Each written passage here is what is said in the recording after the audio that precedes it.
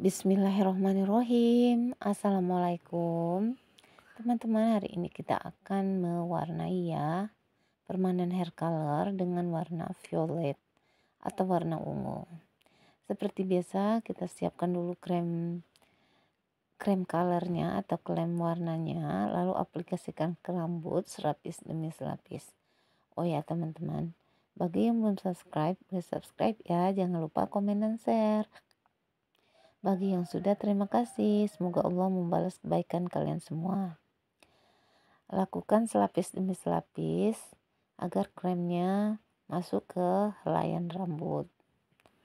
Lakukan pekerjaan dengan bahagia dan gembira ya teman-teman. Ini saya lakukan dari samping kiri dan kanan. Nanti lalu ke masuk ke ke belakang. Lakukan berulang-ulang seperti ini sampai selesai.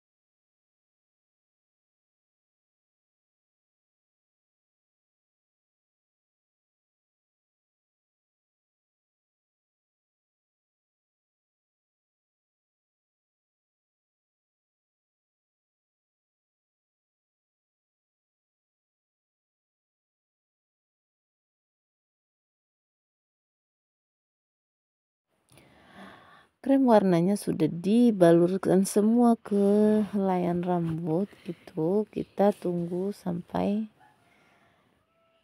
satu jam ya teman-teman ya. Baru nanti proses berikutnya itu proses pencucian.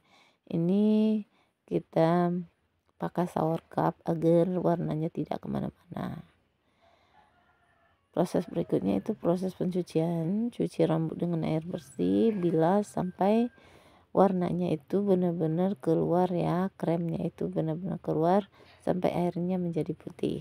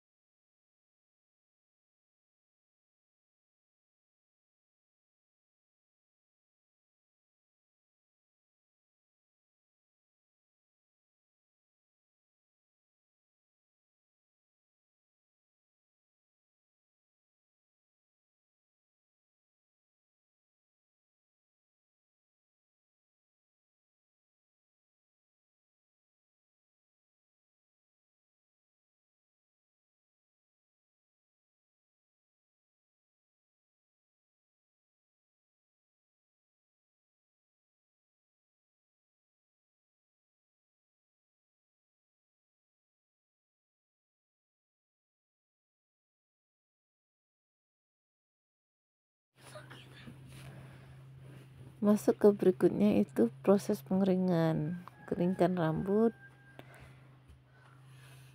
Kita sisir terlebih dahulu lalu keringkan rambut. Menggunakan dryer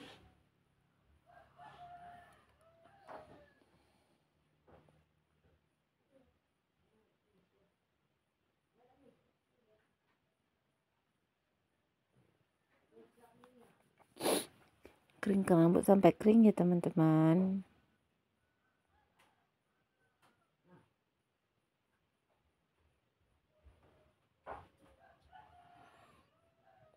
Hasilnya ini cantik ya. Ini hasilnya nanti warnanya ungu. Ungu violet seperti itu teman-teman ya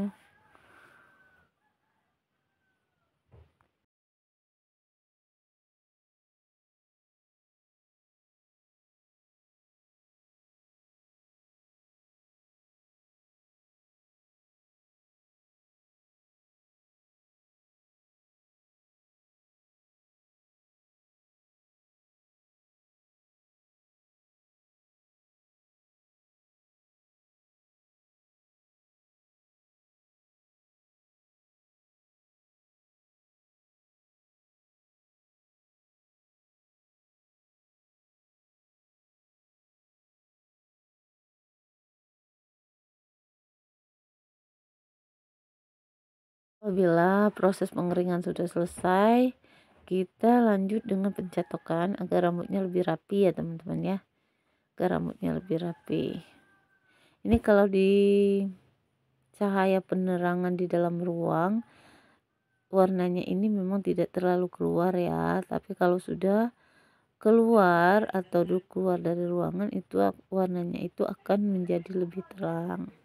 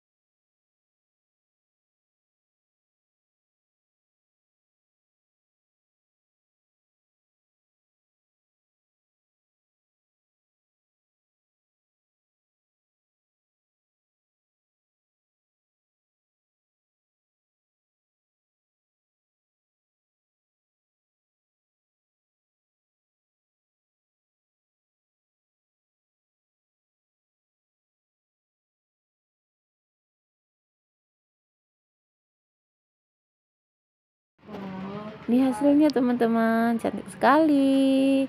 Terima kasih teman-teman. Wassalamualaikum warahmatullahi wabarakatuh